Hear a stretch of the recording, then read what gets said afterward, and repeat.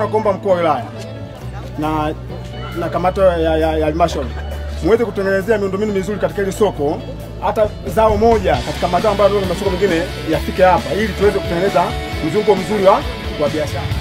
Kwa hiyo ninyi watu wa manispaa mje hapa msikilize kero, msijue kukusanya alafu mtaweka utaratibu katika masoko yote, muondoe kero, sio hapa tu, kwenye masoko yote, kwa sababu makusanyo yote ya manispaa yanategemea kwa kiasi kikubwa masoko.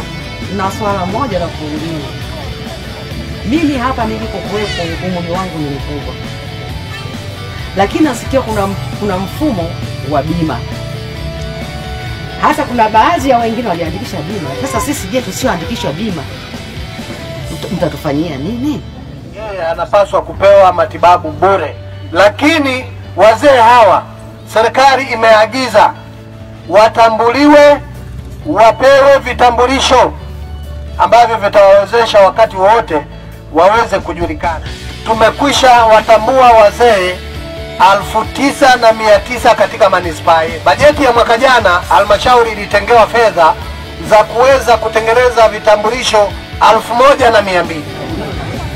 Naomba mkuu wa wilaya niongee kwamba kitu kimoja katika hapa eneo letu la taka tunapomwaga takataka hapa pamechimbika, mvua inaponyesha maji pale yanatengeneza dimbwi, na pale pana malisha wanapika pale vyakula, kuna wale wengine wauzaji wa nyama.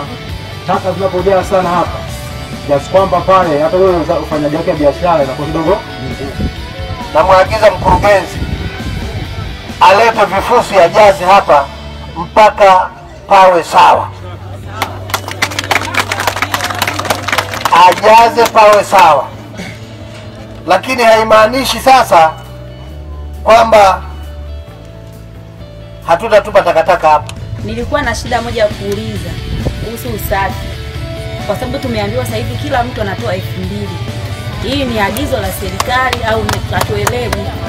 Tuchukulie nyumba hii ina wapangaji tu, vyumba viko vitano, wapangaji wako watano. Kila mpangaji hata kama hajaoa yeye ni kaya, sawa?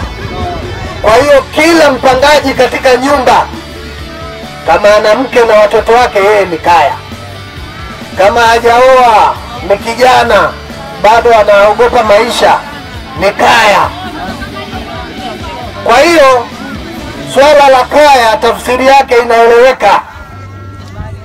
Mkikaa familia tatu, maana yake ni kaya tatu.